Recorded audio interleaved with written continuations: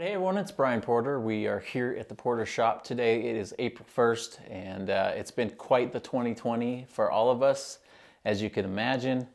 Uh, we're going to talk a little bit about something that happened earlier this year. We're going to look backwards a little bit because um, right now, looking forward is, is kind of kind of scary, kind of unknown for a lot of us in the music industry. And this was a video that we wanted to make uh, probably in, in February sometime, but it got a little crazy even then as we got back from the NAMM show. And um, we're talking about was NAMM worth it? So was it worth it for us as a small business? Was it worth it to go to the show and to exhibit? Um, 2020 was our first Winter NAMM show as, a, as an exhibitor. So we have, you know, had gone to the show before as, as just uh, walking the floor, if you will, checking out some different uh, booths and, and kind of getting a feel for is that something that we wanted to do in the future? Um, so this is our 11th year in business, and we decided, you know, we better try to go and see how, see you know just how we would do at the show, uh, kind of what, how it would benefit us to go. So we signed up uh, kind of in the mid to late fall of last year of uh, 2019, and we we looked at a couple options of you know where do we want to be booth wise and size wise. Um, you know as you as you start down that path, many of you that have looked at a, a NAMM booth realize it's very expensive even for a small booth, let alone, you know, the bigger booths and the, the larger, you know, more, more valuable footprints or if you will. And uh, we, we tried to figure out kind of the best uh, case scenario for us. And so we were in the basement. We were in Hall E. If you've been to the NAMM show, there is A, B, C, D upstairs, and in the basement is Hall E. And we were in what was called the Innovator Showcase. Now, I'm not sure why they called it that, other than that it was maybe some more boutique businesses kind of over in that area. Um, maybe it's just a way to market that uh, it's it's worth going down to check out because many people didn't make it down to the basement. Um, so, long story short, for us, um, we'll talk a little bit about the leading up to the show, but but getting right to the point, um, this year it was really worth it for us to go. Um, it was worth it for the exposure. It was worth it for a couple reasons we'll talk about just in a minute here. But, uh, you know, as we look back and as we look forward, uh, we had a lot of deals that were, were pending and, and some of them that were supposed to kind of land in this last, you know, March month, April month. And, and of course, with the music industry completely being turned upside down with this virus issue, we've we've looked at it and said, well, we don't know the the impact of the the show kind of long term just because everything's kind of frozen right now. So we've tried to figure out, you know, there was a bunch of pending deals that could have happened for us to make it uh, even more worth it. But uh, we broke even at the show. We got a lot of good leads, and as the music industry turns around, hopefully there's some of those leads that will come back for us that will uh, be beneficial um, but for right now, it's, it's definitely the unknown as we talked about in the intro. So we'll kind of focus on the part of the show, um, like I mentioned, leading up to the show. So heading into the show, we, we decided to do a kind of a joint booth. Uh, for those that don't know, we do full electric guitars and pickups in our shop. So we've got a couple major projects going at any given time. We decided to basically put everything into our one booth, which is just a 10 by 10 booth and we decided to fit some guitars and, and pickups and little pickup displays. We'll show some pictures as I'm talking just of the booth and kind of uh, the way that it looked there. We had the guitars on the floor, we had a backdrop above the booth that kind of uh, showed us you know, a little representation of our, of our company over the last uh, three, four years. And one of the things we realized that really showed, um, showed people a lot of our capabilities because we did have catalogs, we did have materials to hand out, we had guitars to show, but that was kind of a cool collage, sort of like a, a, a snapshot, if you will, of, of, our business from the last couple years. Um, so that was a huge hit at the show. Uh, we had to build seven or eight guitars in a very short amount of time. We got those knocked out. We were uh, also developing our new Portertron Alnico pickups at the same time, as well as a Bigsby model guitar. So it was kind of crazy for that whole like November, December even into the first part of January, we had to get everything out the door, and it was um, it was very fast paced and very very chaotic, and and uh, a few nights of just hopefully we will make the deadlines that we want to. Um, we had a crate that had to be, be shipped out at the end of um, at the end of December, I believe it was. So we had to get everything loaded up, ready for the show. That was going to be a couple weeks later. So we got everything there. We met the deadlines. Um, for us as a small business and a smaller crew, it was uh, was a lot of strain on us on our on our shop. Obviously, financially straining to try to piece everything together to get there. Um, we went with a cheaper route on the booth, which looked pretty nice. We had kind of a fake wood floor and just some simple displays, and it really was a hit. It wasn't very flashy. It was just kind of who we are and showed a good representation of, of our brand and the way that we sit in the industry. Um, some of the great things for us were that we went to the show and there's a lot of people who were customers already. And so this was part of like feeling the early success of the show is that, um, you know, we met our dealers, we met our customers, people who bought from us direct, people who have uh, wanted to try the guitars out for a while, but they haven't got a chance. And so some of the things about that were actually really cool. Uh, some side benefits were we're getting to go and meet people that we were in conversation with about maybe uh, guitar builders or future deals.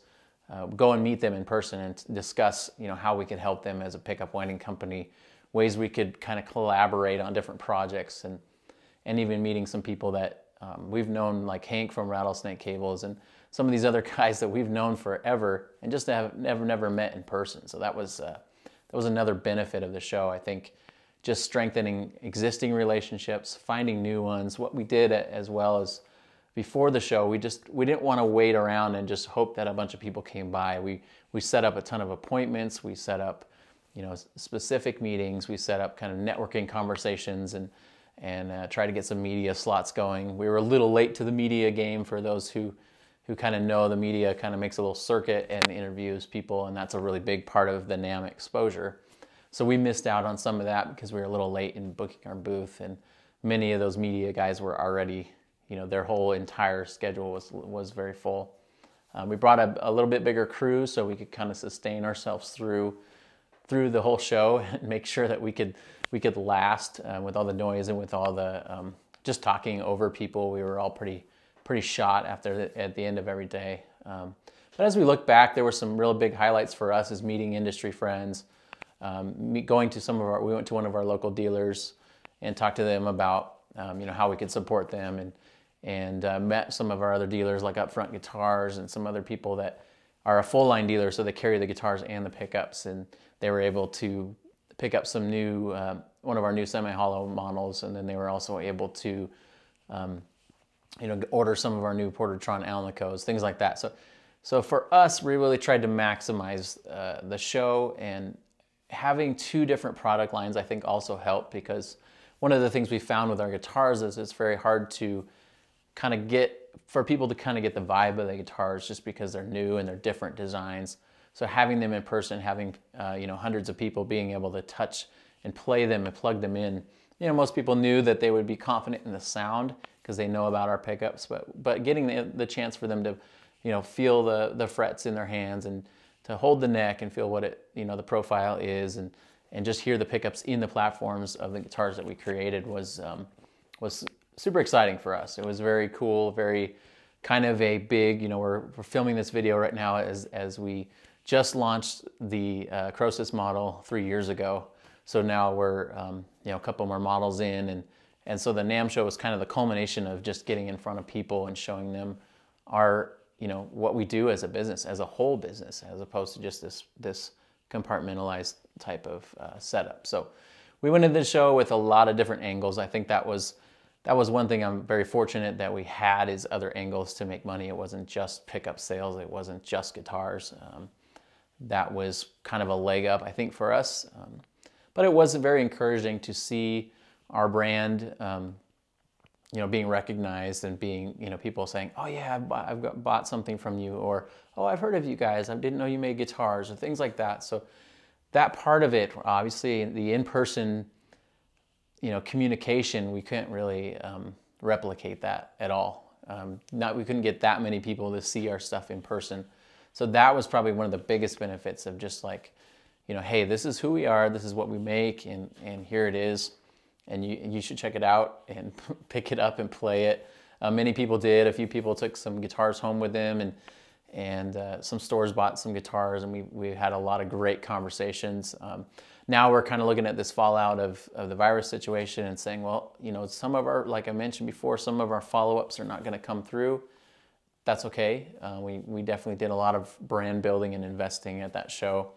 So long story short, the NAMM show was worth it for us. Um, it was a lot of money. So for those who are thinking about going to the NAMM show, even, you know, we did it about as cheaply as we possibly could. We got, you know, an Airbnb and we had a bunch of people kind of contribute to that. Um, we had uh, this very simple booth. We had the cheapest booth that we could get size wise. Um, they're all the same price per square foot, but down in the basement, you know, we had a specific uh, spot that we, we liked and uh, everything was about, you know, it was not, uh, it was not uh, overall very, very cheap, but we got everything done. We were able to get to the show. Uh, we were able to kind of cover uh, financially most of the show, so that gave us a little bit of a better confidence in, in making it happen.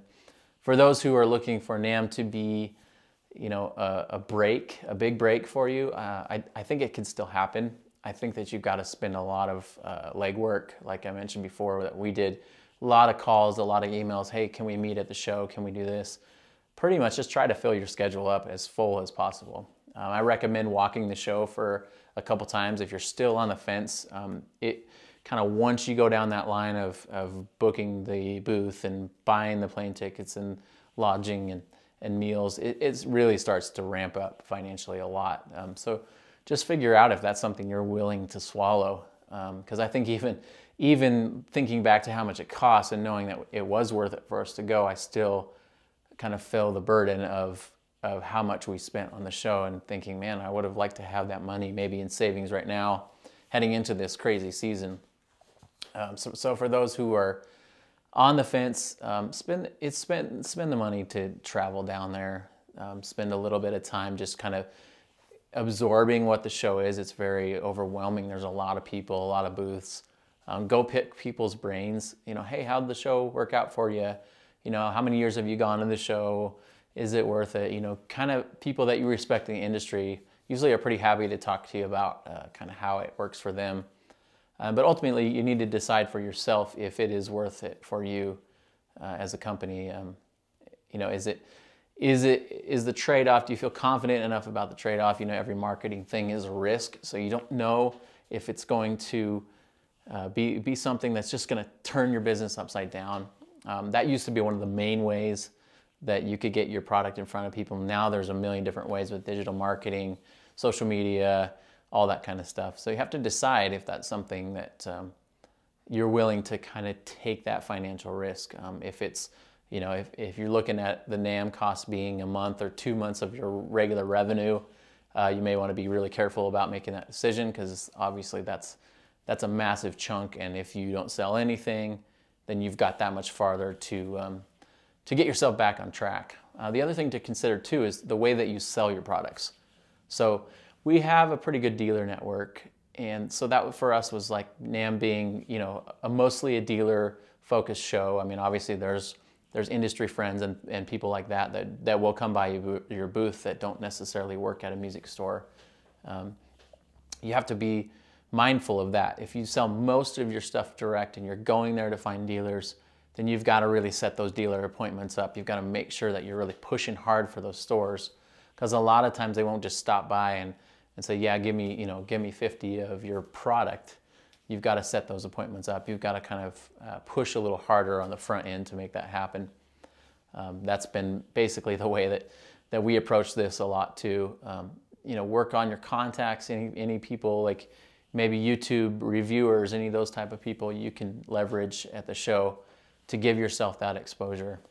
Um, it's, it's definitely a big commitment. You know, would we, would we do the show again? Um, they, you know, NAMM was asking us if, they, if we wanted to sign up for next year only a couple weeks after the show, and, and, obviously we weren't ready to make that that commitment yet. Uh, but it looks like now with the industry being in this kind of very strange spot, and I think Summer NAMM is probably in jeopardy. We're not really sure uh, what that looks for, like for us at this point. Um, obviously, we're not going to have the, the, you know, probably the revenue for a while to to uh, look back into going to that show and and who knows what the next few months holds for all of us in terms of um, this industry and kind of how it recovers. But uh, for us, uh, you know, making this video right now is very weird because it was kind of going to just be a feedback video, but now it's sort of tied into this, you know, what's going on in the world right now. But um, I think it was again, it was worth worth it for us to go.